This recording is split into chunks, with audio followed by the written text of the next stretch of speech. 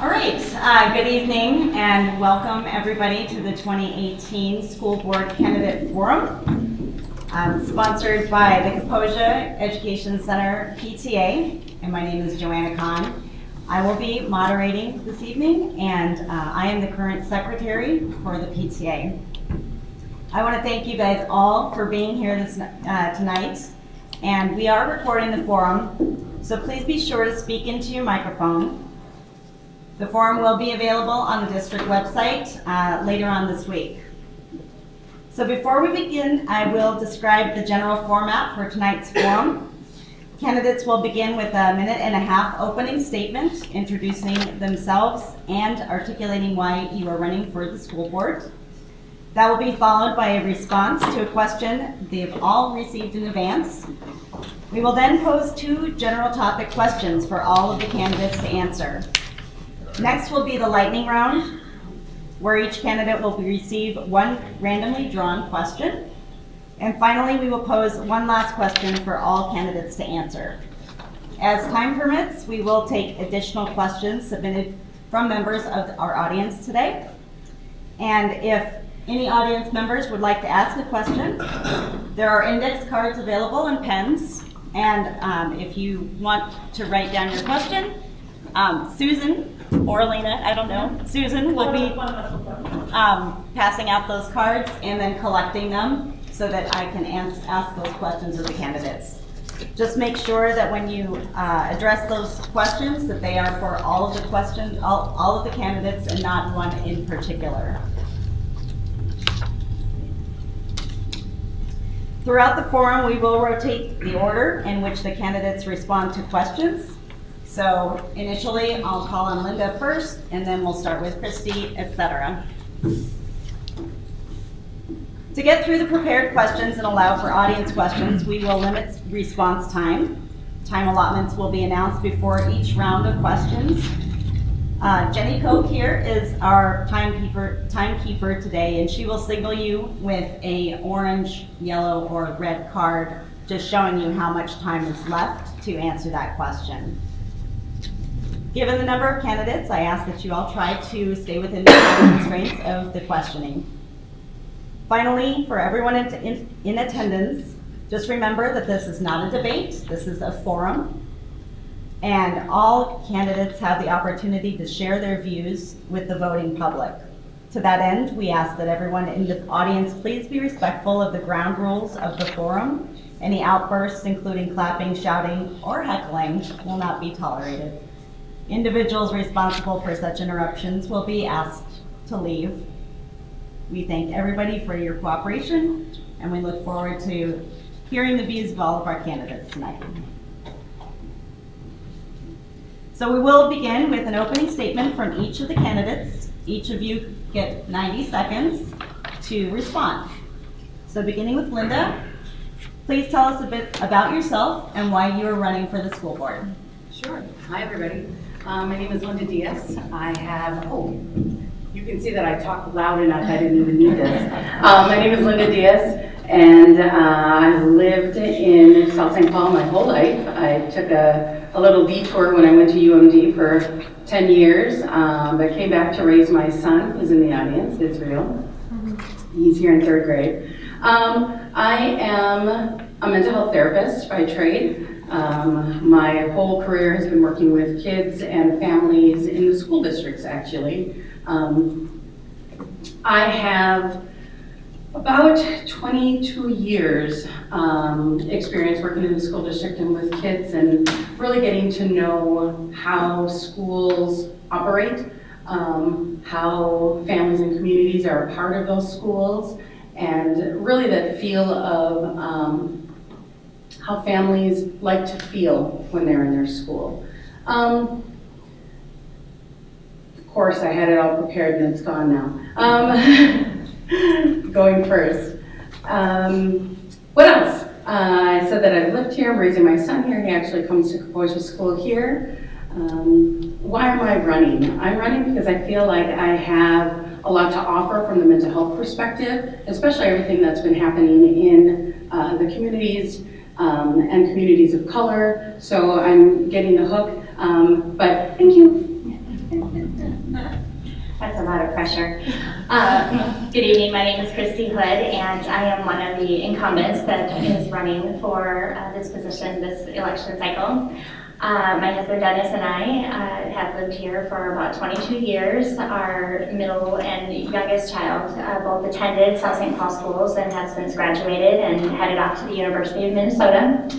Um, I really, at no point in my life, thought that I would ever run for any sort of political office. My dad held a political office, and as a kid, I, I fully understood the challenges and that sometimes people could be mean, and um, you had to be a little thick-skinned. And I thought that I would never even run for something like library board. But after um, having my kids involved in school and starting like many of the parents here tonight and being involved in our uh, our PTA and um, as time went on and the more we got involved with our school system and our, um, you know, kids' activities and, you know, it really came to fruition realizing that if you have an opportunity to serve, you should serve. Uh, that's exactly what I would tell my kids now. Um, I'm so grateful for the opportunity that our community has given me so far. And uh, if, uh, if anyone feels like that I've done a good job and it would like, they would like me to stay in this position, um, I'm, I would be grateful to continue uh, with my role. And uh, I really want to thank the PTA for hosting the event tonight. Good evening, everyone. Joanna, Jenny, and the Kaposia PTA, thank you for um, holding this forum. I see Principal uh, in the background, and um, Kaposia's always been that school that stepped up to um, manage these events, and certainly we appreciate it. Um, my name is Ann Kuhnahan. Schultz is my maiden name. I had to spend a lot of money to get rid of that name for those of you that know me uh, as a Schultz. Um, I have lived in this community my whole life. I am uh, married to 25 years to the same person. His name is Brian, and I don't share this very often, but after 25 years, I feel comfortable in saying he is from Wisconsin. I uh, work on the campus at the University of Minnesota for Gopher Athletics, a position I like very, very much, and a lot of my time is spent there. Uh, I like watching, attending, playing sports. I also like going to the cabin. We have three children. All three have graduated. The one, that our youngest, most recently, recently she's a freshman at UMD. She graduated in the spring.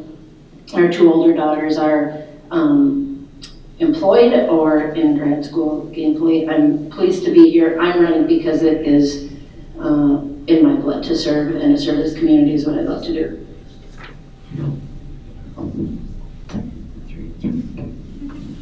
Well, good evening. Uh, I'm Chris Walker. I also would like to echo the, my thanks for uh, having this forum put on. It's a, a, good opportunity for us to share our views and, and what we're, why we're running for the the school board. I have been a resident of South St. Paul for 29 and a half years. I'm not going to round up to 30. Uh, my wife Connie and I raised two children who are both graduates of South St. Paul High School. Uh, I have 30 plus years in the financial industry. Uh, four years ago when I ran for school board, I said it was because the school district had served our family so well that I wanted to give back.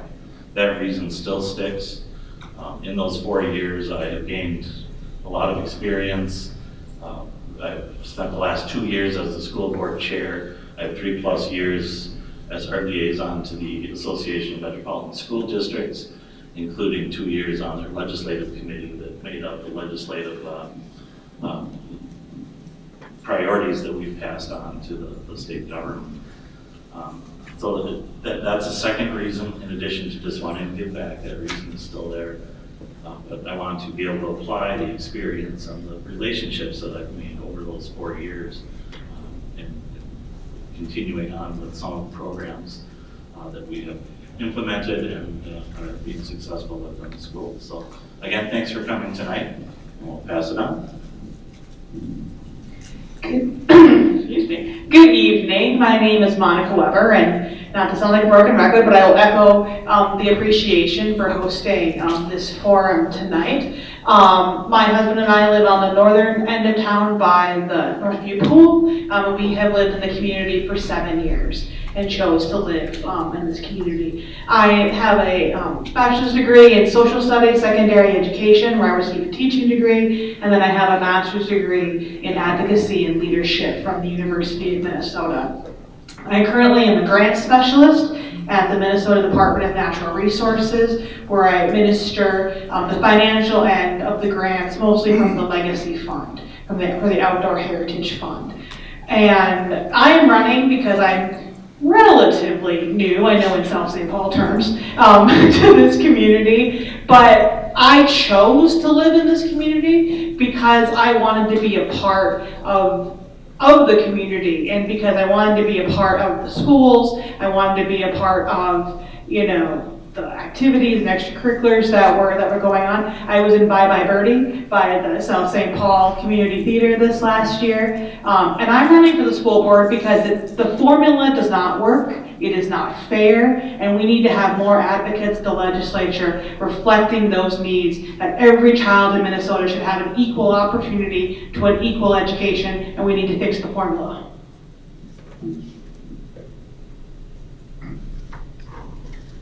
Good evening, my name is Wendy Woods Felton. I also am a lifelong resident of South St. Paul.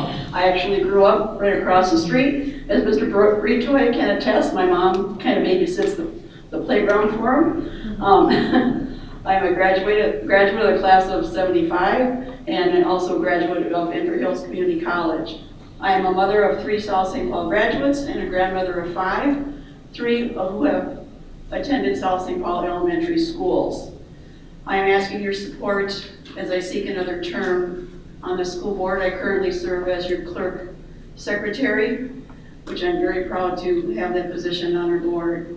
Uh, I have a very vast history of working with youth in our community in South St. Paul, and this gives me a great opportunity to give back to this community just some of the things that they've given to me and my family. One of the reasons that I chose to run on the board initially so many years ago is I felt that I brought a new perspective to the school board. As a single parent raising three kids on my own, I knew the struggles that families in this community face. As a, as a single parent, as a one-person income, raising your kids on your own, transportation issues, childcare issues, I felt like I could really offer a good perspective to our board and to our community with those with those things. So and again, thank you to the PTAs for sponsoring this event, and I look forward to your support in two weeks. Thank you.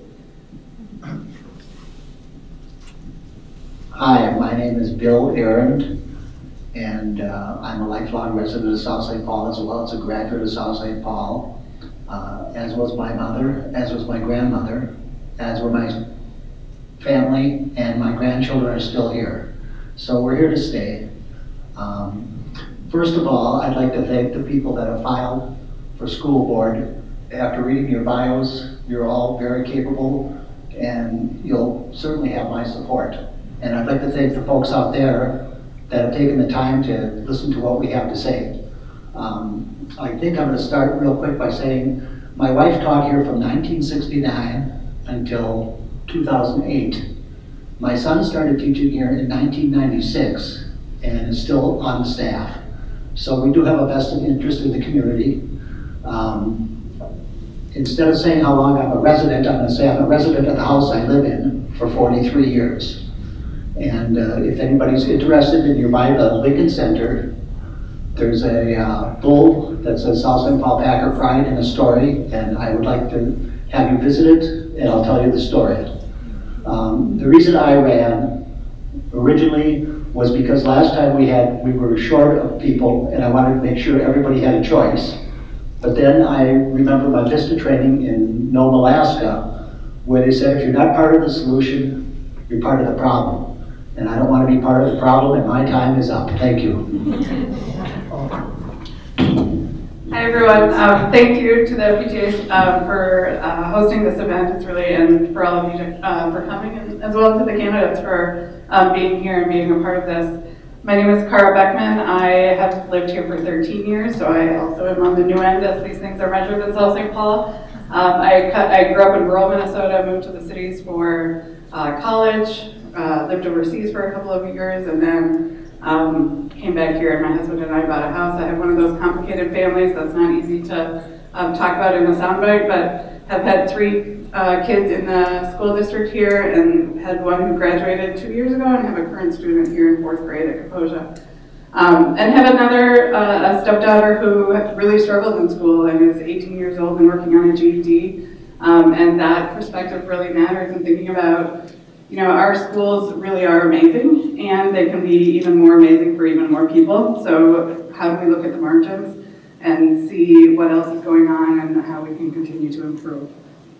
Um, I work at the University of Minnesota. I work in the medical school in a Center for Youth Development, um, where we're really dedicated to understanding what those developmental tasks of childhood and adolescence are, and how our communities and structures and systems can really support those, so that all of our students can thrive um, as they uh, go on to emerging adulthood and um, their next steps in life. Good evening, my name is Kathy Delstein. Um, this is my second time trying to run for the school board, so it's a pleasure to be here. Um, I am currently running for the simple fact that, number one, yes, we didn't have enough people to run on one of the terms, but mostly because I have a student that's in 10th grade and I have two children that are now graduates of South St. Paul. And the biggest thing for me right now is to make sure that we follow through with the safety of our students. And with the $500,000 grant that we received, we can only get better with the safety for those that are in the secondary building. Um, I have been a resident in Minnesota my whole life, South St. Paul my whole life, from four generations of my family. And I just want to see the generations of children come to have the education they deserve and just get better and better. Um, I'm not sure what else I can tell you, other than I'm happy to be here and thank you for hosting. Thank you to all the candidates for your intro. I just wanted to mention, uh, we are missing one candidate. Uh, Marjorie Stewart was not able to be here tonight uh, due to his uh, being out of town. So I just wanted the audience to recognize that Marjorie is not here, unfortunately. We will go on to the next question, which is the uh, prepared question that you were all handed uh, or given last week. With, and we will begin with Christy and continue on down the line. With 10 candidates vying for four seats, how are you differentiating yourself in this election? What unique abilities, experiences, passions, and vision distinguishes you from the other candidates? Thank you. Um, well, first of all, I'd like to say that clearly with this uh, panel, with our opening introductions, that we have a lot of highly qualified people here tonight. And um, I think that that is for the betterment of our community. And so I'm glad that everyone here has stepped forward and asked for the opportunity to serve. Uh, one way that I think that I would be able to best lend my support is that uh, given that I have now had four years of experience under my belt, um, I look back now and I remember my first year and a half, I barely uttered a word. There was so much to learn. Um, big, big budgets, um, you know, big policy, uh, and in amongst all of those big rocks, we had all these little tiny rocks that needed to be moved around and shuffled and, and uh, discussed and um, properly put into their place. And at times it seemed like I didn't know that I would ever learn everything that needed to be learned. And the reality of it is, is that we will not because it's, it's ever evolving and ever changing. So I would hope that my four years of experience would give me um, enough ground with which to continue the good work that we've already started and to take uh, good hard looks at the things, the challenges that we're still having and uh, that uh, my level-headedness and uh, calm under pressure will continue to help me make those decisions that are necessary. Um, I think that's it for me. Um, thank you for the question. I, I, think to answer this question uh, effectively, I just want to um, harken back to two stories. One is my dad served on this school board for about 30 years, I think, when I was a kid. And I remember, gosh, Israel is probably his age, and I, I asked him, you know, why, why do you do this? Why, why do you serve on this board? And his, his response was, because there are a lot of kids whose parents can't help, and I need to be their voice. Um, I look forward to um, a, a recent time. My brothers and I, when our parents passed away, started a a fund at the at the Education Foundation for students at the high school that have been unable to pay for their uh, extracurricular activity fees. It's called the Stride for Packer Pride. We just celebrated our 10th year and have helped about 350 families and have raised over $100,000 to go directly to students to pay for their fees. And it was about the seventh year and my daughter asked, how many more years are we going to be doing this? And I said, I think un- until there's not a need. And I feel that I, the main reason that I'm here is to be that voice for those kids, those parents who aren't, who are not here, those parents who can't effectively advocate for their kids. Someone needs to be there for them too. Um, and I feel that's uh, the purpose why I'm here tonight, why I'll be here in four years, and uh, thank you very much.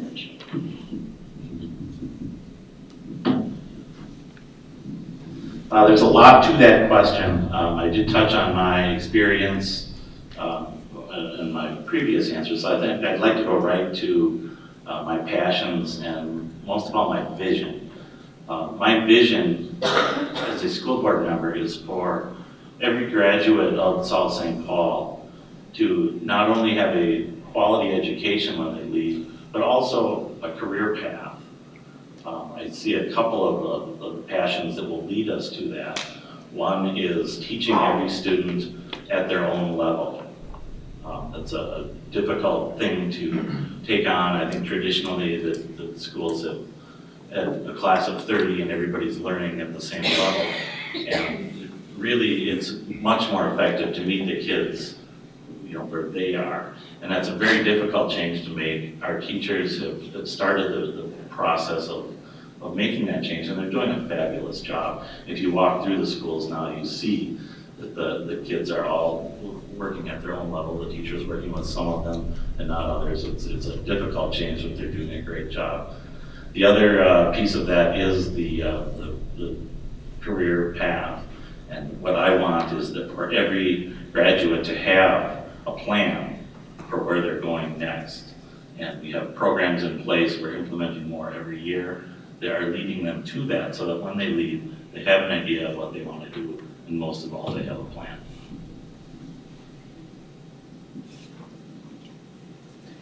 And that was, a- that was a challenging question. I was, you know, in thinking about, you know, the great variety of candidates that we have up here. I think that my skill set in being an advocate is really of value to this district. Um, the relationships, I worked at the Capitol for several years, um, both as an advocate and as a legislative assistant, and I kind of, I believe, know how the system works down there. I think I can be the best advocate as a representative of this community to the legislature to, again, fight for changes like on the formula or on standards or on the various needs um, of our community. I also know that on my street alone, we sold five houses this summer, and all five were families that were, you know, grandparents moving on to other housing options, and in their place came young families, all brand new to this community, all with young children. We're all going to be represented in our school district. And I also think that you know, as a relatively newer resident of South St. Paul, that that's another group that I can connect to, that I can say, welcome to this community. You are welcomed in this community, and we value you. And that is something that I also want to bring to the school board to represent all the brand new families in South St. Paul.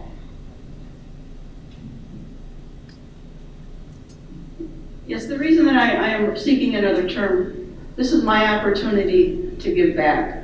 So many things have been given to me and to my family. As I mentioned earlier, as a single parent, I struggled day to day with issues that we all deal with. Um, and I was so fortunate to have a good support system raising my three children. And I, I said I do have a strong history of, you, of volunteer service to the community. I was a Boy Scout leader for 13 years, serving in every position except for Scoutmaster. I was a Girl Scout leader for 12 years. My daughter earned the Silver Award, and, I, and my son is an Eagle Scout. I also taught religious education at St. Augustine's for six years, where I received the Excellence in Catechesis Award from Archbishop Flynn. These volunteer positions have been my lifeblood. It's what, what I live for, it's what I like to do. I raise my children to have strong values so that they will pass those on to their children someday. And I do look forward, hopefully, to serving another term to our families and our students. Um, I currently serve on several committees, as all current board members do. I've served on the Community Education Advisory Council, Central Square Board, Finance Committee, Building Bond Committee, Educational Foundation Committee, and I currently serve on in- Intermediate School Board 917 Board, and I will probably talk about that a little bit later in my speech. Thank you.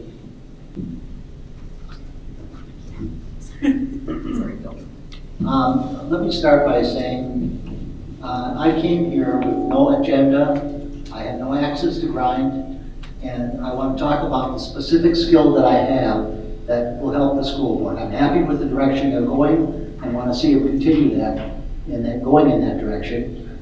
Um, The one skill that I do have is I'm a team player. Uh, I could probably prove it by going back to my junior year in high school when we were the first hockey team to play for the state championship. And my senior year, when we were third place in the state. Uh, I think I exhibited my teammate skills and my problem solving and the things that we need to keep going in the direction we're going. And um, I think I can, can I bank the rest of those seconds? Thank you. Uh, Thank you. Um, So when I think about a school board or a city council or whatever, I think about who are the different constituencies that are represented, and it's, it's really fun to be able to be a part of a board or a council or to vote for a board or a council because you really get to look at the diversity um, and, and think about how they represent different um, groups in the community. And so I thought about that question from that perspective and thought, who are the different constitu- constituencies that I really want to represent that maybe I don't see on the school board right now. And so one of those is parents of current students. Um, there's a different urgency to um, decision making and um, and a different access to understanding what the results of a budgetary decision or a policy decision are when you have a child in a class um, and can really see those impacts. Um, the second was already mentioned, but the you know what is it like to move into this community and um, kind of understand that there's lots and lots of people who have been here for generations. And how do we kind of open up what it means to be a member of the South St. Paul community to people who, you know, continue to be here and will continue to be here, but also to people who are new and who it's our responsibility to really bring into this community and educate as well. And then third, the group of people who believe that learning is relational. Fundamentally, um, learning happens when relationships are strong and safety happens when relationships are strong. Um, so, so that kind of fundamental belief around what the core is of um, that educational interaction. Well, the reason that I'm running is due to the fact that I do have a 10th grader. I do find that it would be important to have, as you said, parents, current parents, with students on the board um, not only elementary, but secondary. Um, you gotta bring fresh views from not only the board members, the community, the staff, but also the students. You gotta listen to them. You gotta be open to their communication. And they're, they're smart. We are South St. Paul. We are proving that they, we do have smart children. They know what they need. Um, they are communicating that to us every day. A fresh view on that maybe that would be a, a good avenue to go down. Um, I also have fresh ideas from working with the Supreme Court on how security would work with the Supreme, uh, with the South St. Paul Secondary Schools. Um, I, I just feel that the whole board does need a fresh view on what's coming for the future. We don't want to hold the kids back, but the future is what they need. Thanks. Um, I agree with all that's been said, and I, I do really like the point about um, honoring our elders, honoring the history of South St. Paul, but also really understanding what is coming next. And, you know, when I think about the demographics of this town, and, you know, when I grew up, I was one of a very few families of color that were here, um, and how we were treated, um, the, the interactions that we had, which were very, very minimal. You know, and if we look at the audience today, to make sure that we are representing all the families of South St. Paul, um, not just a certain aspect, and making sure that, that our school board looks like the families that we're, we're representing. So that really for me was the very first item um, on my agenda. I, I really didn't even think about being a parent um, until some other folks had talked about it because, you know, I think I am very vocal um, and I also believe that um, we are, the school board has to be a liaison from the community to the schools and back. We have to be that bridge. And if we're not approachable, if we're not um, visible, then that doesn't happen. So uh, to be able to have folks who aren't afraid to go into the community, who aren't afraid to ask questions and have people um, approach you wherever you are, and I know that happens a lot to the folks who are on the current board, um, you know, that, that, to me, that's what um, being on the board means. Thanks. Thank you all again. Our next question uh, is a general topic question. You will get 90 seconds to answer the question, and we will begin with Anne. Thank you. I guess you need the question. this is getting recorded, right? School board members often have to make difficult choices about programs given limited budgets and resources. What are your top three priorities for maintaining a balanced budget while meeting the district's mission of serving all learners? Good question. And I think that um, before I go any further, I, uh, when, when I served on this board before, I was told by a very wise person um, as it relates to those questions that as long as the decisions you're making benefits, you feel at the end of the day the decisions you made benefited the kids in the district, you can, you can sleep better that night. And I, any decision that I made at that time um, is covered under that prism. I felt that the decisions that were made were made um, based on what was uh, best for kids and all kids. Um, that's an easy, easy thing to say, but not as easy a, a thing to do for those that are on the board now and those out there that have served on the board. I think there are fundamental issues as board members we need to take care of. That's the safety and security of our children. That is preparing our kids for life after high school, whether it's uh, college or career ready. And it's also creating citizens uh, uh, in this community, in this state, that we at South St. Paul can be proud of.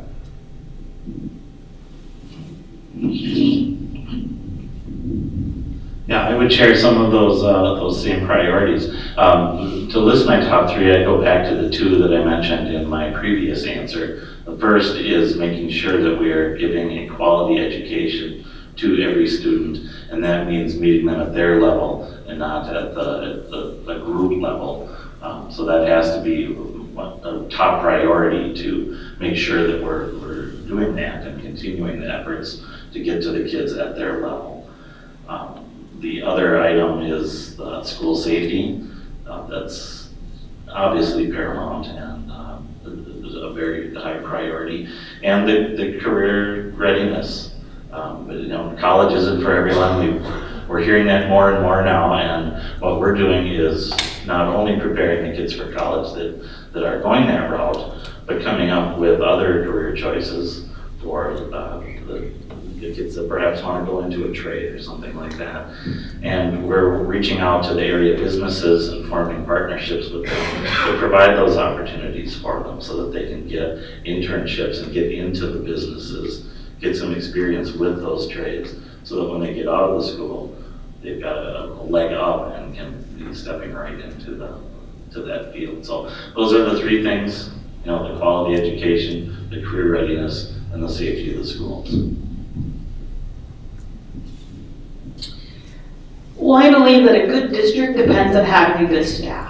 And that you can't have good quality education without good quality teachers in the classroom, paraprofessionals in the classroom, you know, lunch ladies serving lunch, or lunch distributors if we're going to be gender neutral. Um, and so I would prioritize, you know, lower class sizes, making sure that in this tight economy, that workers want to work for South St. Paul. And I think that the welcoming nature of that comes from the board and comes from the type of contracts we're able to ratify and the types of relationships we're able to build with our staff in our various buildings.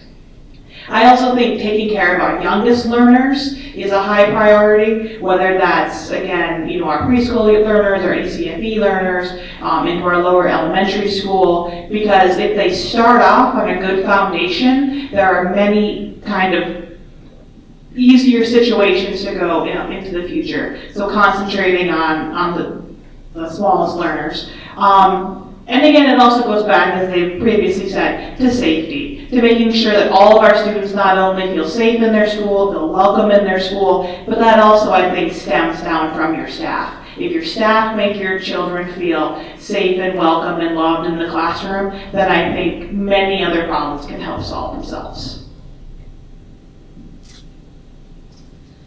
Uh, yes, the first thing that comes to my mind regarding the budget is our board has policies that we follow, and that's regarding our fund balance.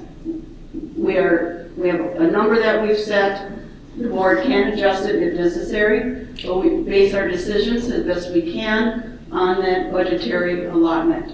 Another thing that I'm so proud of with this district, that it is for all students. We are an IB 12, K-12 district. One of the proudest moments that I can recall on my tenure on the board is the day that we became the first in Minnesota IB K-12 district. I remember being at the, on the field at Lincoln Center with past Superintendent Hemmenover as we had a ceremony, balloon lifting and some speeches and the kids were there.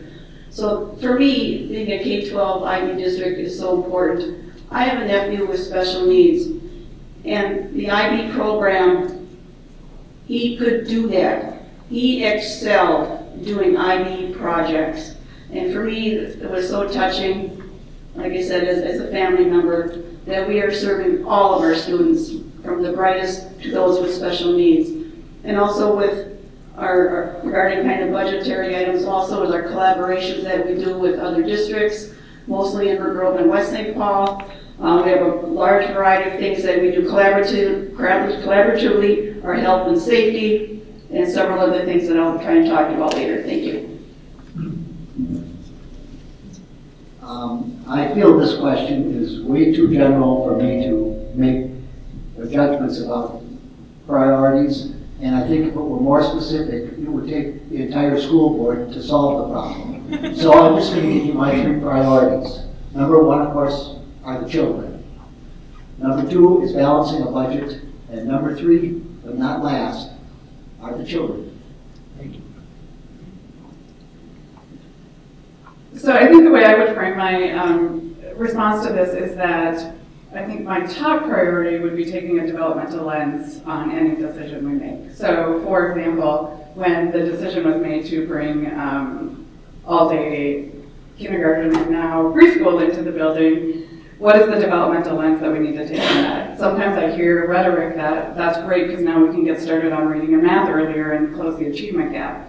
What's really going to close the achievement gap is by creating a play-centered, um, you know, classroom environment that children are able to be four and five and come in and learn through play. Um, and that's going to get them used to a, a, setting where they love being, where they want to respect the teachers, where they look to the adults for guidance um, and care, rather than this place where they're kind of told to be six-year-olds when they're four, or eight-year-olds when they're six, or ten-year-olds when they're six. So that developmental, and the same thing goes with safety. Um, safety comes through relationships, not through security guards or through um, metal detectors, and I don't think we're talking about that here, but I've been in enough urban schools where it's a slip, you know, I don't like the term slippery slope, but it's, it's dangerous to start, start talking about safety um, without talking about what is the school climate factor behind that and what are the relationships that are being built so that we know that issues are surfacing because kids are talking to each other and kids are talking to adults and we know how to, you know, find uh, where we need to intervene. Well, what are, my top priority, of course, is safety, and not just physical safety, but mental safety. Our children, we need to be able to have the trained staff that needs to allow the children to feel safe enough to come and talk to them. Um, I bring this up, my son, he plays football, there's show choir. He came home last week because the teacher didn't notice there was something wrong. To me, that's a safety issue that needs to be addressed. Um, I do feel our children, of course, are number one, whether it's inside the school, at the sports, anytime. They do need to have that safety feeling within themselves, not only just visual. Um, I, I feel the budget, you know, there, there's wiggle room as shown with that grant that we were just granted. I mean, that's amazing achievement for South St. Paul to get. And I think we can do great things with that and a lot of good training for our students and the teachers. Thank you. Great, thanks. Um, My top priorities are uh, understanding that every year, things are going to change. That with kids, you can't plan, with schools, you can plan. Everything happens, um, not ever in a vacuum. And so to be able to say, oh, you know, here is our 10-year budget, that would be great. That would be so wonderful. But when you're working with people, it often doesn't work out that way. So for there to be uh, flexibility in understanding what, um, what the priorities are in the budget, that would be really great to have that, that uh, as a priority. The second thing is mental health, and I agree with you down at the end that, um, you know, days of old, mental health didn't have a place in our schools. And times have changed, and here we are where if you want to have healthy schools, if you want to have happy learners, um, if you want to make those those cutoffs and grades and um, have productive citizens, you have to start in the school and have great mental health. And, and if that means um, more programs, if that means more school counselors, and I know that we, we were able to get some, um, you know, whatever it is, that that should be a priority when we're thinking about the budget. Um, and then lastly, I love the IB program. I was an IB student myself. But I believe that it incorporates all different modes and mediums of, of learning, technology, hands-on, um, having speakers, and that that is the best thing for kids, so to continue that as a priority.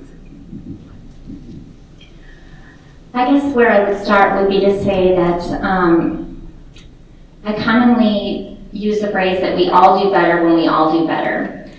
Education uh, is not well, I'll say that I'm not a small woman. I don't believe that uh, one size fits all uh, generally fits uh, any situation. And uh, that's true of education too.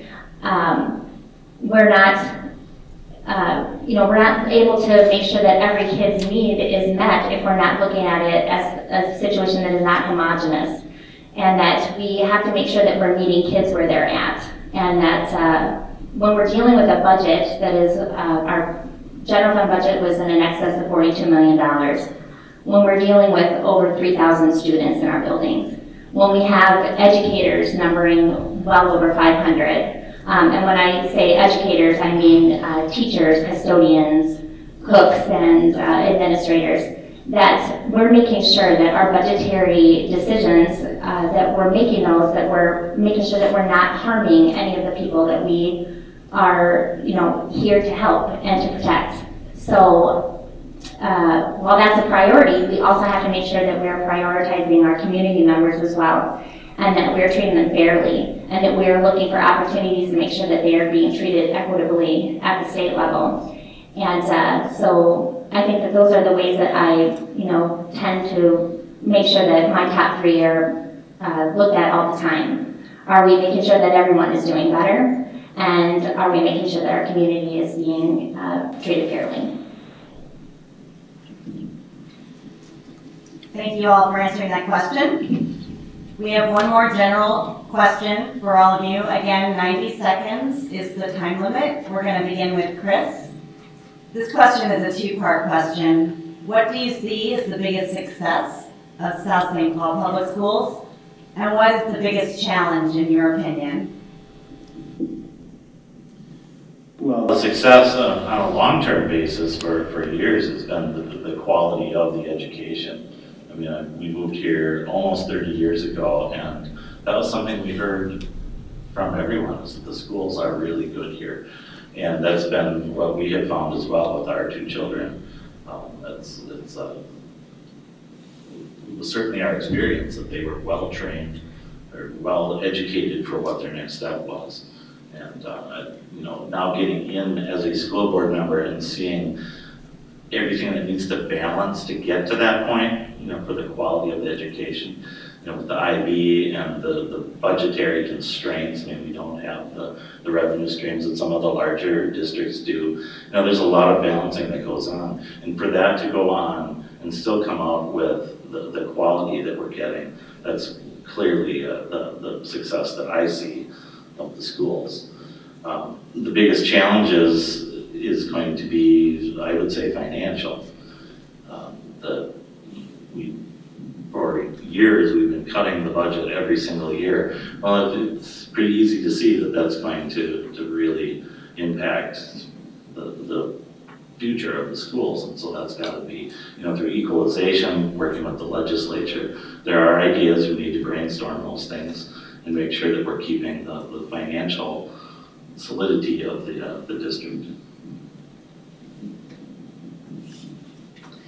I would say the biggest success of the school district is that people still want to be involved in the school district. That they still um, value the, the education that their students are getting, that when new families move in and they want to be involved in the schools. And I think that's success. Like you, you walk around this community, people are proud of their school, they're proud of the teachers that are able to to benefit their children. And so I think that's success for any community, is when people really value the school that is in their community. I think the biggest challenge for their, for this district, and I think a slightly different track from the financial challenges that we all know and that I've addressed that need to be, you know, fixed on a more macro level at the state, at the state, is, is overcrowding. I mean, we saw it when we had to move the sixth graders into the high school and we had to build wings onto various schools.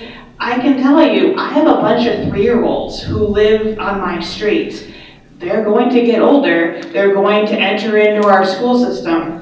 I was a substitute teacher, actually, in the school district. I have a, um, an education license. I was able to be a substitute teacher in the district, and I was able to see definitely, you know, the overcrowding, the, you know, students, you know, class sizes being too large, and just that our schools are physically bursting with all the new families that want to move into our community. And so that's going to be something we need to take seriously um, as we move forward. I'd like to start with, with the challenges that I feel that we face. And I believe the first one is funding, whether it's from the state capital, with equity funding, um, and also with regarding special education funding under the federal government. The federal government has failed to live up to what they promised us over the years with their funding. And we need, we need to work with our legislature to get that funding back. I personally talked to a couple candidates that are running for national offices, and that was the one thing that I stressed. You need to fix special education funding for school districts, because that alone could make a great impact on our budget, giving us the proper funding. And the thing that I, I'm actually most proud of right now is our college and career readiness programs. For those of you that may not be familiar with it, this is one of the consortiums that we are working with Inver Grove and West St. Paul in. Uh, we, we have students that currently can follow two tracks if interested. The first one is attending a medical careers track. We are proud to be aligned with TRIA Orthopedics, which is right out uh, in, in the uh, West St. Paul area at the Vikings Center, where students can go there and learn about medical fields. We have a heavy-duty truck program where students are interested in any type of that. They can search out those uh, programs through this program, um, Career and College Readiness. And so we look forward to expanding that program as we are already looking at possibly a third track through that program. So college and career readiness, I'm very proud of that.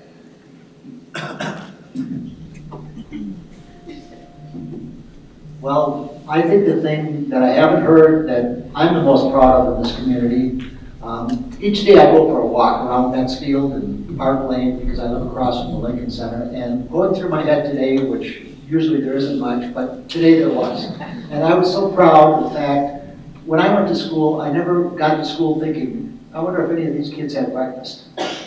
And at lunchtime, I never looked around to see if everybody was eating. But you know what? I'm proud to know that the kids in this town are being fed. And that once a month, there's a truck comes and the parents can pick up groceries for home. So I think that's a, a big priority and it's one thing I'm very, very proud of. Uh, as far as saying I'm from South St. Paul. And, and the other thing, our biggest challenge, I agree with Wendy and Chris, we, we don't have enough money. We have to, you know, work some type of magic to keep things going, because we're, we're in the right direction. But something's gotta happen, and I, I don't have the answer for that.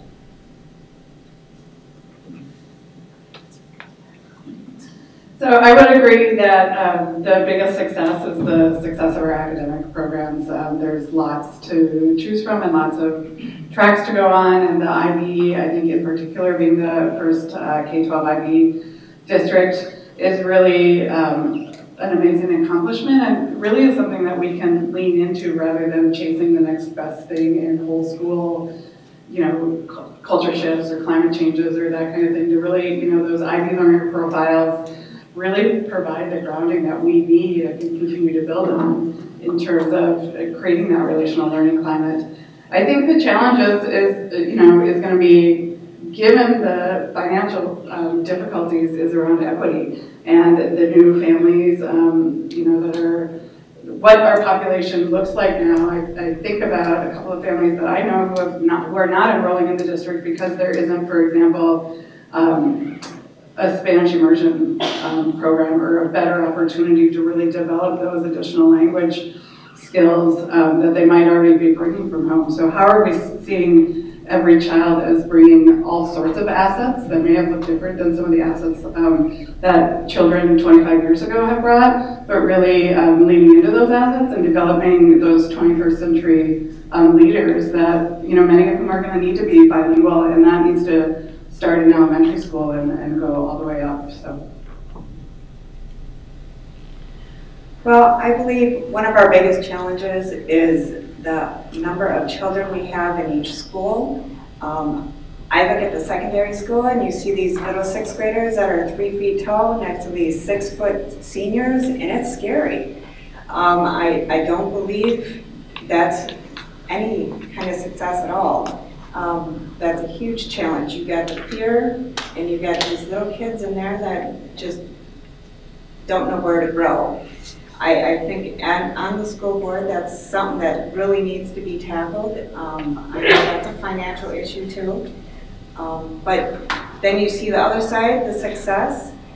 30 years ago, I graduated from South St. Paul. Within that 30 years, there has been so many changes, and the education has just bloomed. Uh, we have the IB, we have the career paths, everything, and it's, it's amazing to see our children grow with that.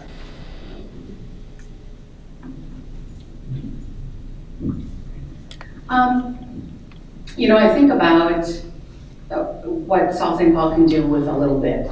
Um, if you've ever been to a booyah, you know that that pot is never ending and it can feed the whole town. And I think about the funding. There are some, absolutely some long-term issues that need to be um, accounted for. But uh, uh, when I think about success, I think about the, the programs that we've built already with just that little bit. So um, down the road, when our legislators get back on board with us and start to listen, I, I can only imagine um, what we'll do with that. Uh, as a as an opportunity, you know, I, I agree um, that we want to make sure that we're serving all kids and providing services for all kids.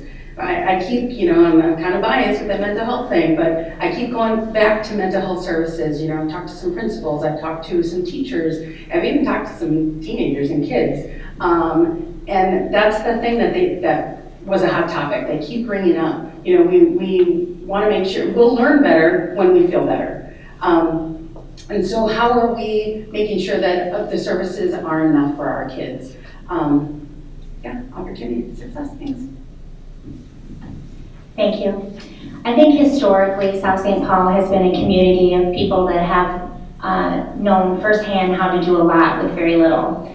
And, um, you know, if you ever attend any of our events for, you know, maybe some of our Hall of Fame kids or, you know, who are now in their adulthood and, you know, there's a, a common refrain about, um, you know, how they came from families that didn't have a whole lot. Maybe their parents didn't graduate from high school and what they were able to go on and do um, after achieving their education here. And I think it's, it speaks loudly to what we're able to do here for our kids and families. Um, obviously, we've all agreed that uh, funding will continue to be a problem here, and at the state level, they make that decision for us that the onus will be on our property, um, our property owners here in our community. Frankly, I don't think it's fair that the fact that we don't have a Chick-fil-A means that our elderly people have to pay more uh, with regards to our levies and referendums to help support our schools. It's not fair, and um, I'd like to see that changed. As far as successes, while many people will say that we continue to have an achievement gap and that shouldn't be minimized, I do believe that. Um, if you go into our buildings every day, you'll see that kids are making strides and achievement is happening. Uh, you might not just necessarily see that every day or read about it in the paper. Um, other successes, we continue to have a high rate of graduates every year, and I think that too lends to a lot of the success that we're able to offer our kids here. I'm going to take this question together because I think they're related. And those of us, and I, and I look through the audience uh, and see the relative um, age of everyone, and I know that when we, and when we were kids in the schools, teachers taught. There's more expected of our teachers today. Teachers are police officers, teachers are social care workers, teachers are doctors, teachers are nurses. And in order to really attack the, one of the major challenges of education, it needs to be a whole solution. We need a better jobs program. We need an immigration uh, plan nationally. We need um, affordable housing. We need to stop cutting social services. If you can do those things outside of the education system, it's going to absolutely help the, help the schools. The success of that is while teachers are different now when they were then, our teachers in South St. Paul are that and they're doing it effectively. They are police officers, they are nurses, they are doctors, they are social care workers, they are clergy, you name it, and our teachers are doing it, and that is, I think, one of the largest successes here in South St. Paul. Um, I'll add the funding because I think it needs to be touched on as well. Um, we're, the school districts are, are um, revenues given to school districts based on per pupil funding, it's starting to decrease. We need to figure out why and figure out how we can get that turned around so that our school um, revenues don't continue to drop. ECHO uh, figured out a way to equalize our funding because in South St. Paul, kids are being discriminated against because they are not being uh, funded like our neighbors are, and that needs to change too. Thanks. All right, thank you so much for answering those questions. Before we begin the lightning round, I just wanted to remind the audience that if you have any questions for the candidates, um, we do have the note cards and pens. If you would write down your questions, and Susan will come around and pick them up. I would be happy to pose those questions to the candidates after the lightning round. So now the lightning round is uh, one question per candidate. I will randomly choose a question that is in this little pot here. We will begin with Monica. And you get one minute to answer each of the lightning round questions.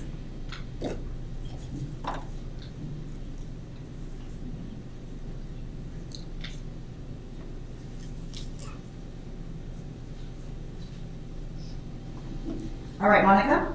What do you believe are the two to three defining characteristics of a high functioning school board? So the first characteristic is communication, because if you're not communicating well, then you're not able to work together to solve whatever goal or task that you have ahead of you.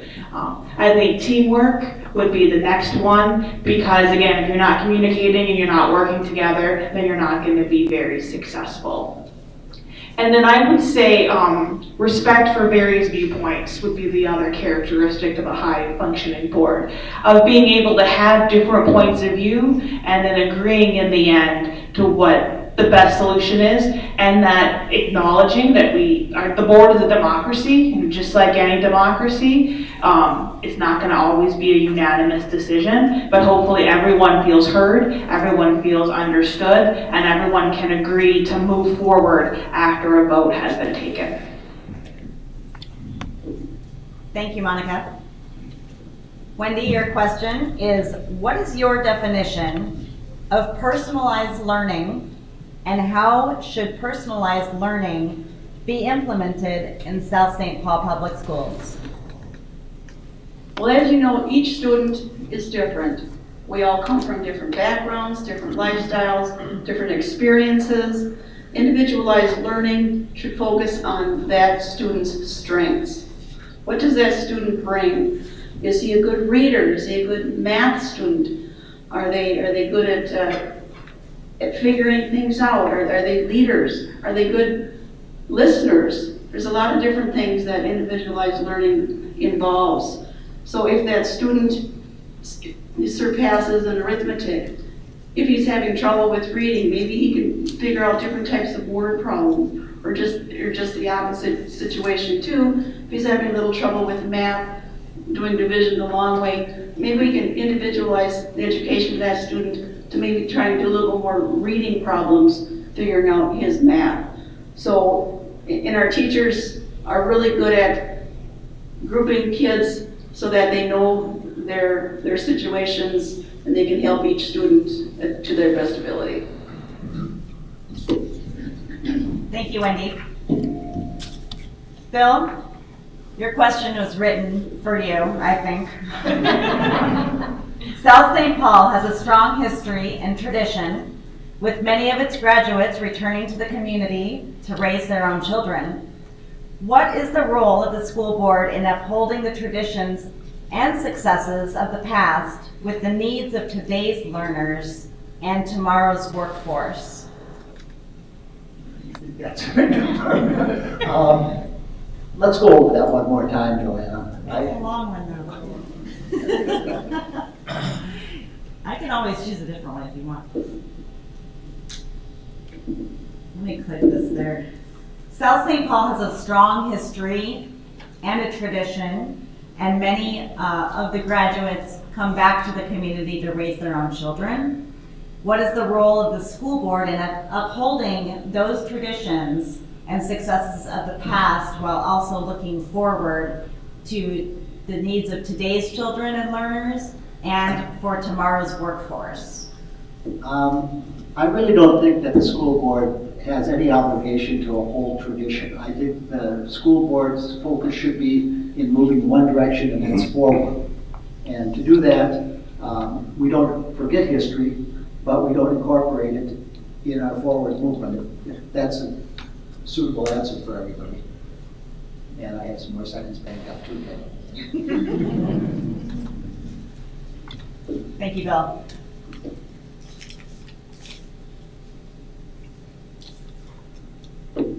All right, Kara.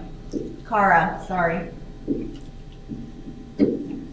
As the district has shared for several years, Residents of South St. Paul pay two to three times more in local property taxes to raise the same amount of school revenue as residents of another district. What is the role of the school board in advancing referendum equalization to help level the playing field between school districts? Yeah, I mean, I think this is one of those things that our school board and our school district leadership has, you know, would be one of the successes that we could also, also point to in terms of being a consistent voice with our local representatives as well as the um, Department of Education and the, the governor um, around raising awareness and letting them know that, as somebody up here said, that is affecting our children, our young people, and our uh, and the tax base that we have. So I think it is absolutely to continue raising that awareness. Um, and then, you know, when you think about so it's, it's raising the awareness of the inequity, but it's also raising the awareness of, of what happens, right? And so how are our students suffering and how are our taxpayers suffering? Um, and then making sure those stories are out there and that we can give really salient um, examples of what's going on and what's not going on in our um, classrooms and in our buildings um, because of the inequity in the financing structure. Thank you. Catherine, your question is, the district has a history of securing partnerships with other schools, municipalities, and organizations. What additional partnerships do you think the district should pursue in order to best meet its mission and vision?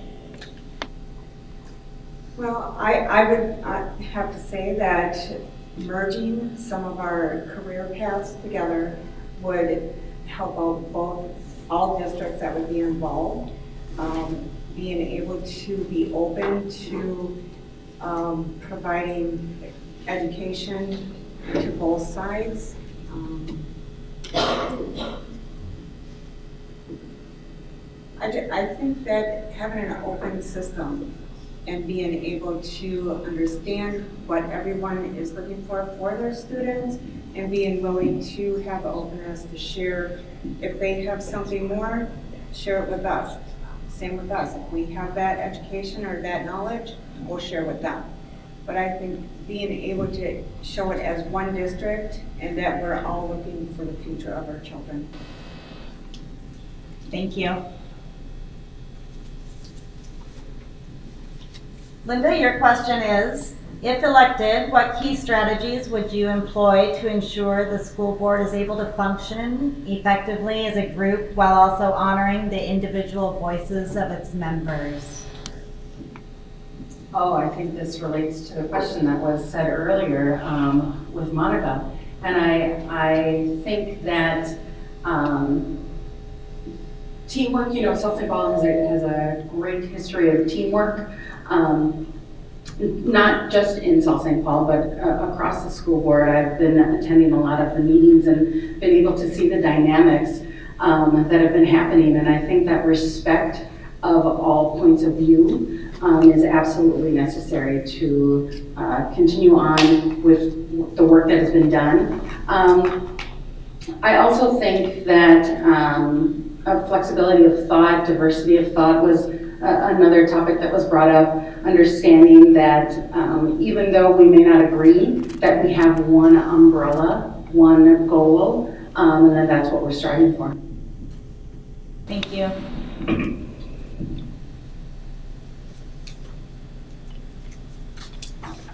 Christy, your question is, what is the role of the school board in addressing the mental health and wellness of its students? Given that this is a hot topic, I think, of late, um, not only in our community, but uh, communities throughout the United States and beyond, um, I think that we must be mindful that our policy that we are putting in place is um, looking at uh, things surrounding mental health or access to mental health services, uh, that we are looking through that lens and um, making sure that we are putting those policies in place so that they're, you know, uh, placing value on those services that we're able to offer and that we are looking for opportunities for those services outside of our buildings. Um, I think that's probably the biggest thing that we could do. Thank you. Anne, what is your view on the role of technology in advancing learning for students?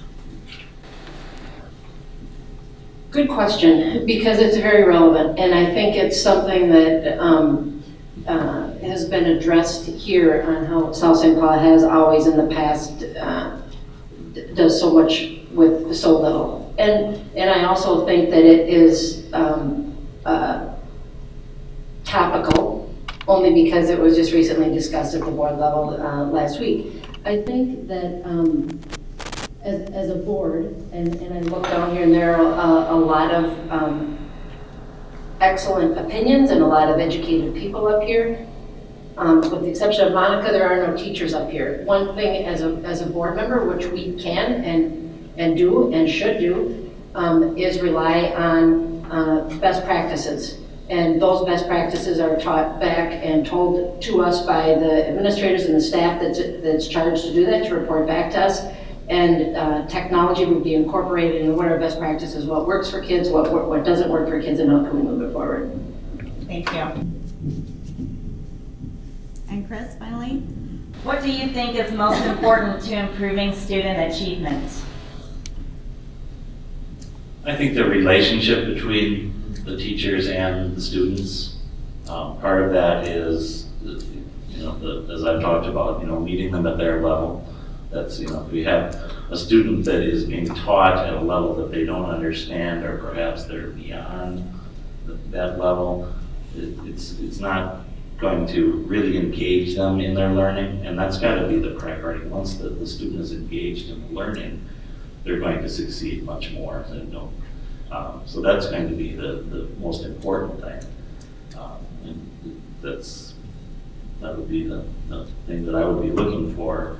Um, again, it's a real challenge. It's a difficult thing for the teachers to do. I think our teachers are doing a fabulous job with the tools that they're learning and practicing now, and that they will, uh, will get better at, and that's going to meet that goal for the South St. Paul students. Thank you.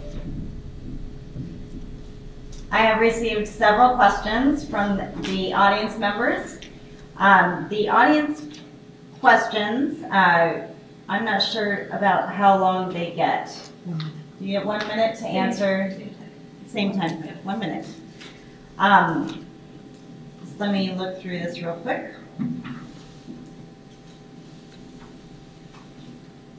Um, Since the lightning round started with Monica, then we'll start with Wendy. You'll be the first person to answer these questions, but everyone gets a chance to answer. It has been said that today's South St. Paul Board is a governing board, not a managerial board of education. Do you agree, and what does that mean to you as a potential board member? Yes, we are a governance board. As a governance board, we believe it is our job to give a lot of the the administration policy work to the people that should be doing that work. It is the board's responsibility. We hire the superintendent, and as, as our superintendent, he is given the authority to pass along directives, instructions, requirements, necessities to his building principals. The building principals, it's their responsibility to pass it on to their staff members. So we are a governance body as compared to being in the, in the nitpicky little things. As a board member, is not our job to be nitpicking different things. We give that authority to our administration, whom that we hire, and, and give them that prowess that they can do the best job for their buildings and for their staff and students. And we're proud of that fact. Thank you. Am I Yeah. supposed to comment on this? Everybody has a chance to answer the same question, so I can certainly repeat the question. Um, no, I'm, I'm aware of the question, but. I'm, I'm just thinking I'm a candidate for the school board. I'm not on the school board, and I don't have the ability to answer that question, so my answer is going to be no comment. Thank you.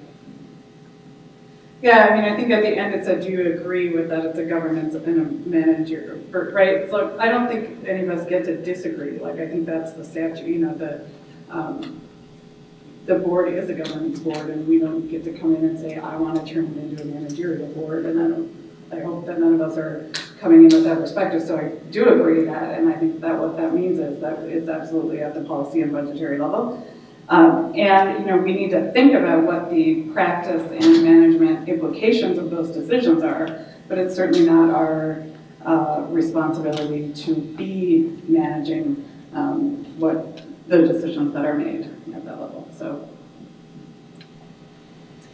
I would also agree that we do not do the micromanaging or the managing at all. Um, That's delegated, we're voted in by people, and they trust us to do that for them. So I, I believe, yes, we are governed. I agree. I think it's our job as a board um, to come in and be curious, to ask questions, to wonder, um, to, to um, not throw a wrench in anything, but to make sure that we are working together with all of the experiences that are on the board to make sure that everything has been thought of. Um, so absolutely agree with what's been said. I think that it's important to remember that uh, we're very fortunate with the administration that we do have in our community. Um, we have, I think, a top-notch administrative team at our district office. We are led by uh, great staff in our buildings. Um, I think it would be far be it from us to manage how they do their job and the work that they're doing. Um, and it is our responsibility to make sure that we are maintaining governance at all times. That doesn't mean that sometimes, but we're not still learning on what governing should look like or, you know, what that impacts. And um, so as a board, we continue to keep on, on our education so that we make sure that we are maintaining uh, strong governance at all times. Uh, that being said, we're also representative of our constituents, which means that we need to be available to those of you who are putting us in, into our offices. And uh, in order to do that, we still have to make sure that we're keeping that fine balance of, you know, maintaining our position in governance and uh, engaging with our, our voters in a way that is respectful. School board hires the superintendent, approves a budget, sets policies, and listens to their constituents. There should be no deviation from that. This is good board work. I think we have a consensus out here, so, so it's well done, everyone. That's what has been said is absolutely true. We work in governance, um, and that really just comes down to the chain of command. You know, we do hire the superintendent. It's his responsibility to fill out the staff and to, you know, make the assignments and, and make sure that, that everything is being done the way he wants it to be done. And for us to get in and undermine that process would just be a, a terrible thing. That doesn't mean that as school board members, we don't continue to learn. You know, we also are lifelong learners along with the staff and the students. We're, we're really different. There's a lot to learn about, uh, about board work. And so we need to do that. We need to ask questions. We need to continually watch what is going on in the district and ask questions about that. You know, we need to be on top of, of everything that's going on, but we don't want to get down to the point where we're trying to make decisions for the, the school district.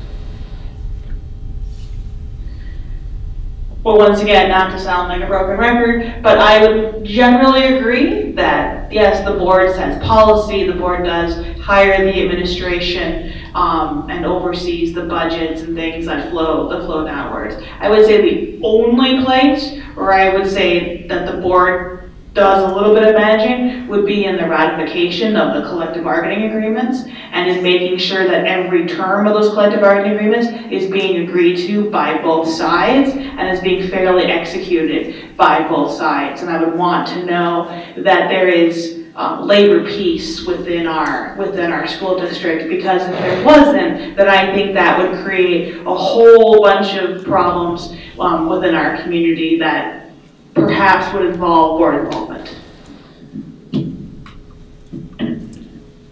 Thank you. We have one other question from the audience. And we're going to start with Bill. Are you familiar with the ACEs study, which stands for Adverse Childhood Experiences, and the effects of these experiences on children and adults? What do you think our district needs to do to address the growing number of students and teachers affected by trauma? I think we need to keep doing what we are doing. This isn't uh, my school district any longer, nor is it my son's. It's my grandchildren's now. And um, we have some pretty good programs in place. Um, I think somebody said we here said that we need our teachers to be uh, policemen and doctors and nurse, or nurses and, and no, we need our teachers to teach. And that's what we do in this program. We have designated policemen, we have designated nurses. Um, and I think we need to continue to do that. And is everything going to work? No. But, you know, if you can do one thing and you do it wrong, you're not wrong. So uh, we'll continue to make our mistakes and learn from them. And continue to hopefully go on from there and try new programs. 15 seconds, thank you. Thank you. Um, so yeah, I'm really familiar with the ACEs study. Um, you know, and, and knowing that the more childhood, the, the more trauma that happens in childhood, the harder it is to, or the more likely you're going to end up in an unhealthy, unhealthy situation as adults. So whether that's you're more likely to have heart disease, or you're more likely to have diabetes, or you're more likely to have gone through a divorce as an adult, or right. So that that trauma in childhood impacts your trajectory for the rest of your life. And that what schools can do about that is, you know, as, as Chris said, we're lifelong learners and our society is a lifelong learner and we continue to evolve and understand what are the impacts of childhood traumas and how do schools become trauma informed. And so what it means is we do a better job of checking in with young people when they come in and saying, how are you today? Not why won't you still sit still? And when we ask sixth graders to handle a middle school environment, we're, we're saying what are the potential triggers to having to go through a um, transition continually through the day. And these can be triggered, trauma triggering, um, and so we need to know how to respond to that. I personally am not, um, do not have any knowledge of this study, um, but as of trauma, I do have knowledge. I believe that with training and openness and having just the open door policies with our, our students and our staffs equally, um, I think we would be able to overcome any kind of barriers that the children have with the trauma. Um, the training, again, that goes back to the financial issue. Um, whether we could afford it, I think we can. But the training on any kind of de developmental issues is something that we definitely would need. I too am very um, aware of this study. Uh, I believe that when it comes to this school district, we can't expect teachers to be therapists, but we do know that teachers have therapeutic skills. So we can't dismiss that. I think what gets, um, where we get caught is that teachers see everything. They know exactly what's happening in their classrooms, but what do they do? Where do they send these kids? So to make sure that um, they're understanding trauma, they're understanding, they have a great awareness of it, um, and that they know what to do after they realize that, that folks or that children are, are experiencing trauma.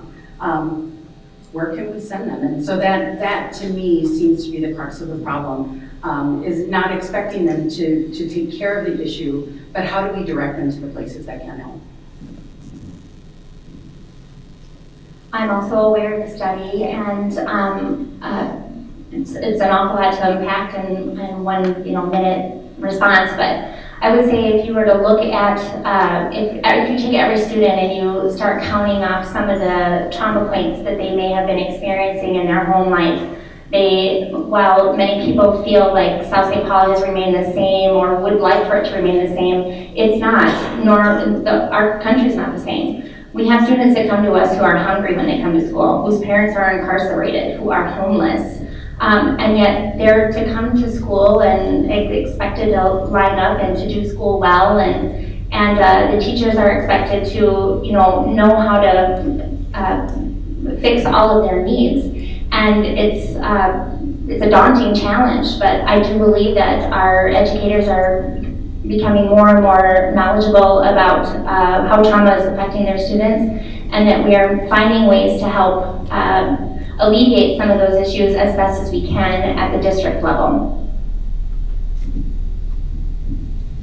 So I'm not totally familiar with the study, but I think what um, this is a good indication of how it works in a boardroom because you're going to have seven people from uh, different backgrounds, different professions, different um, uh, different mindsets, and this is exactly what happens when you're in a board meeting where you will have professionals, you know, where you'll have people that are familiar with this that brings the information to you, and that's what a good board member does is absorbs that knowledge applies that knowledge to their own and uses that based uh, along with the best practices recommendations from the administrators to um, move, a, uh, move a path forward.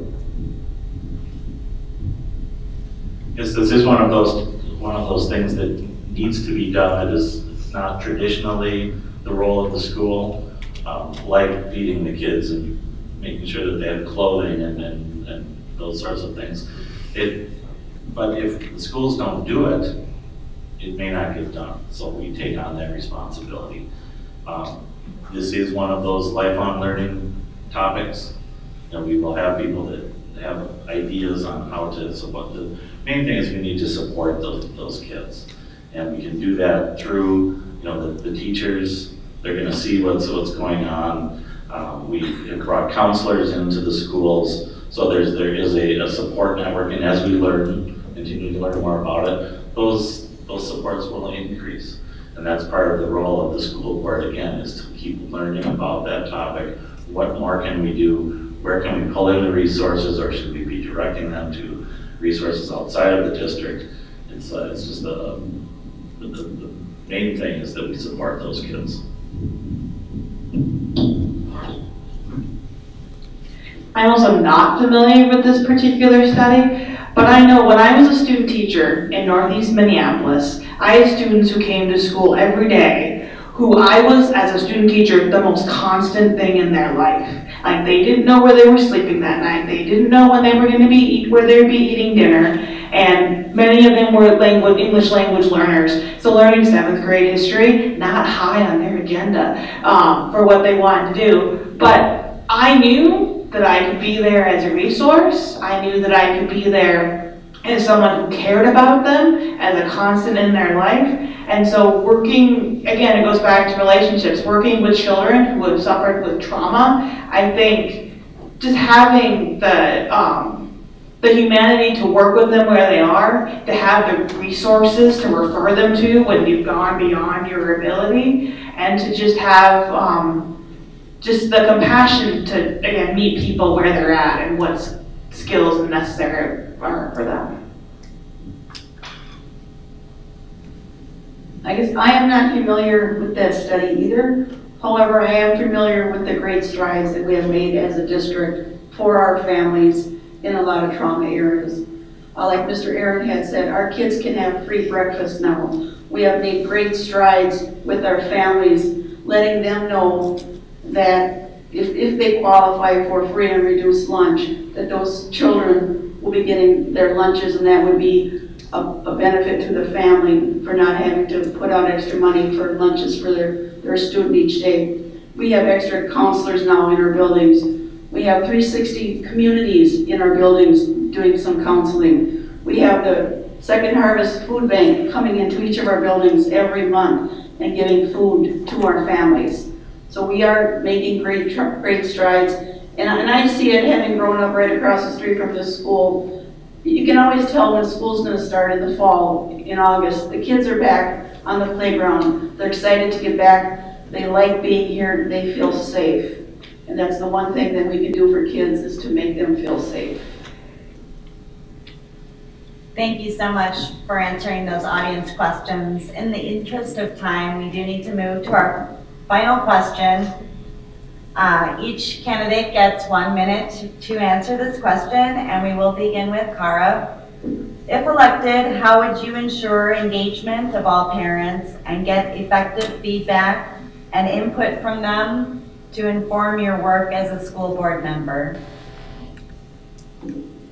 Um, effective engagement of all parents, I think, is, you know, the ideal that we'd all aim for and probably not something we'll um, attain. I think effective engagement in education is something that all parents are doing, whether they're going to engage with me or not in the school board might be a different, but I think that's, you know, the government's, governance versus managerial question, right? Is what are the policies and budgetary foundational pieces that we're setting up so that our schools can do excellent family engagement work. I think family engagement is one of those holy grails of education and truly understanding what is family engagement from different um, cultural perspectives, as well as how are we honoring kind of the, you know, the work that families have to do to provide the basic needs for their kids and, and allowing them to engage in their students' education at the best level they have because fundamentally we all have to come at it with the, um, the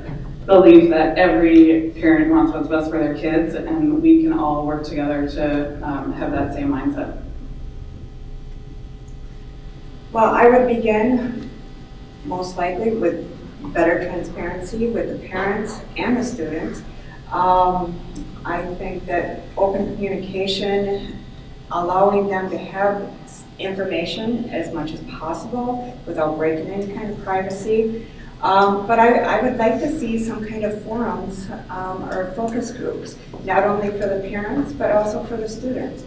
Make it a, a volunteer effort. Um, that allows them, that empowers them, that gives them the information, that gives us the information of what they want. And that's the most important thing that we're here for. Um, I really see uh, this as, a, as another hot topic. I know that a few of us were talking about it even before the forum began. Um, I also know that it's, it's something that the current school board is assessing right now is how to be more engaged with the community. Um, for me, it's really being visible. Do the community members, do parents know who the school board people are? Um, I'd love to see this room filled up, right? And, and why isn't it filled? What, what else can we do? What other meetings can we use to make sure that folks know who these people are? Um, the other thing is, you know, we were talking about um, how do we stay visible with um, groups that, that normally we don't see. And the, the answer was we need to go to them. How do we get invited to groups um, that are meeting already? You know, we know that there are, there's a Spanish speaking group. Um, I know that Kara speaks Spanish, I speak Spanish, um, but thinking out of the box and having a, a Spanish translator coming with us so that we can introduce ourselves. You know, making sure that we are approaching um, and, and being approachable Thank you. I like to think of my role as a relationship builder, and I hope that I've been successful in, in that avenue during my four years so far. Um, I think that it's important um, that we find ourselves in positions where we can reach as many people as we possibly can. And to that end, I um, was able to get onto committees that helped me achieve that, such as the Education Foundation and the South St. Paul Open, and in the, we now have a public engagement committee that we're trying to look for ways that we can continue to increase our visibility and to engage all of our families and students and teachers. Um, I uh, think that so far that given the number of people that do reach out to me, I, I feel that uh, continuing to be approachable in uh, times when people maybe don't feel comfortable seeking out someone. Um, I think that uh, that has helped me better my role as a school board member, and I'm happy that I can fill that role. At a risk of repeating everything that um, has been repeated up here, um, Linda said something really important because I think when you hold a forum like that, if we hold a forum like this at a different school, um, on a different night, we'll probably see a lot of the same faces in here. And it is true that 20% of the people are involved and, um, and do 80% of the work. So um, to that, I think Linda brings up a good point is we need to go to where they are. We need to be a part of their, of their world. Um, and then another thing that's not mentioned here, and, and I think that a lot of times people and generally think they need to reinvent the, reinvent the wheel. Who does it? Who does community engagement really good? What districts do it? How do they do it? What tactics do they use um, to engage their community? And um, let's figure out a way that we can replicate that here. Uh, a couple of different ways, and both of them just revolve around communication and getting in front of the parents. And really, I would, some people have here. I would extend that to really the whole community and not just parents. Um, we can get out in front of them, meet them in, in their own groups. You know, we do a, a state of the district uh, presentation every year now that is really intended to broadcast out to the community, hey, here's what we are, here's what we're doing, here's where we stand, here's what we've accomplished. Um, you know, what, what else do you want to ask us? And another piece of it is to not only have us get out there, but to invite them into the schools. Uh, a program that's just starting up next week is the Parents in Action program, where middle school parents can sign up for a six-night uh, sessions, six nights of these sessions, where they come in and they learn about what it's like to raise a middle schooler, what it's like to have a middle schooler in the schools and uh, learn how to uh, better improve their, their educational experience. Um, so the, those are the two things that I'm really looking forward to.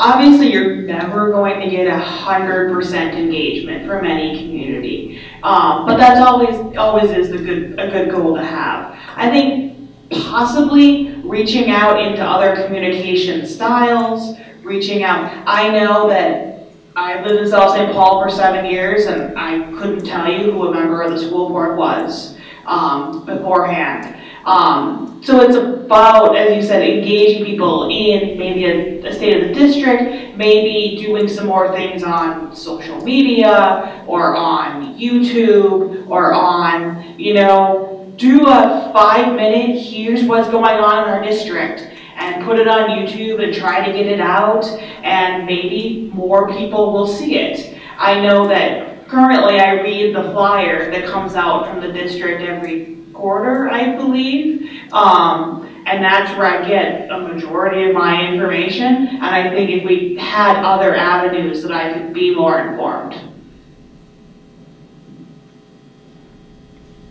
Yes, communication, in my view, is a two-way street. It's important for us as board members to reach out to our citizens and just ask them directly, do you have concerns? What would you like us to see us do? Uh, we recently have have hired a communications director. She's doing a great job, and she will be getting information out and things that are of urgency to our families right away. And also as board, we like to participate in community events. You'll see us in the Kaposia Days Parade. Um, you'll see us at, at different things. And also the invitation to our senior citizens a lot of them, a lot of the senior citizens in our community don't realize that they can come to community events in, in our activities and our buildings for no charge. They can attend the plays for no charge. Athletic events at no charge. So we encourage that promotion too, to get people into our buildings to see how wonderful they are, meet our staff, and give us encouragement as we look forward to growing with our community. I hate to say this, but we've gotten so far off the subject, I need to hear the question again. The question was, if elected, how would you ensure engagement of all parents and get effective feedback and input from them to inform your work as a school board member? Okay, um, I think that the job doesn't belong to the school board, so if I'm elected, I don't see me doing much as far as engagement goes. But I do think we have it in the schools, and I think we call them conferences. And I think if you ask any experienced educator, they'll tell you that children that are um, um, cooperative and good students, their parents will probably be there. And they'll probably tell you that the kids that are uncooperative and not learning will probably not be there. And I don't know what the percentage is. You have to talk to an educator. But we have it. But does it work? I don't know. Thank you. We have reached the end of our candidate forum this evening. I want to thank you, each and every one of you, for coming out here and taking the time to conduct this forum and answer all these great questions um, about your potentially being on the school board. Um, I just want to I want to thank you too for the opportunity for, from Kaposia PTA to um, be here and host. I know that I've learned a lot about all of you um, just in this brief time, and I feel like um, I can't speak for the rest of the audience, but I can say that I feel like I can make an educated decision when it comes to vote on November 6th. Um, I do want to just remind the audience um, vote, vote, vote. So important. Um, so just thank you so much um, and have a great evening.